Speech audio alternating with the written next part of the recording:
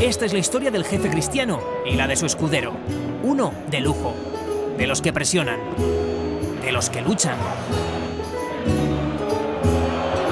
de los que literalmente se dejan la piel.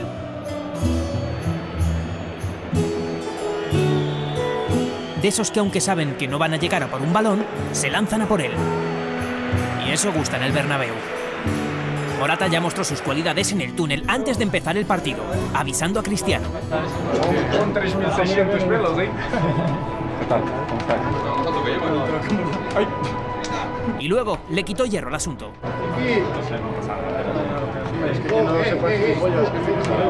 El escudero Morata se ganó el respeto de Cristiano por empeño y por acierto.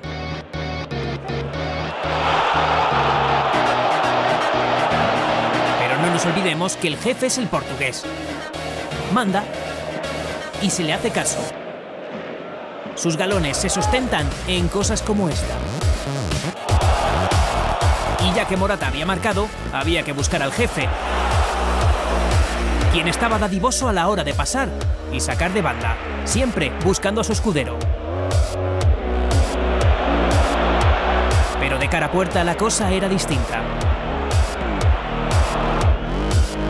Se fue el escudero y entró otro buscando el consentimiento del jefe cristiano. Yo por aquí. Y a las primeras de cambio, cuando creíamos que Cristiano se iba a ir de vacío, penalti sobre el luso. Ah, no, fuera de juego previo. Hasta en eso tuvo mala suerte. Y claro, con ese nivel de exigencia, el 7 se marchaba enfadado.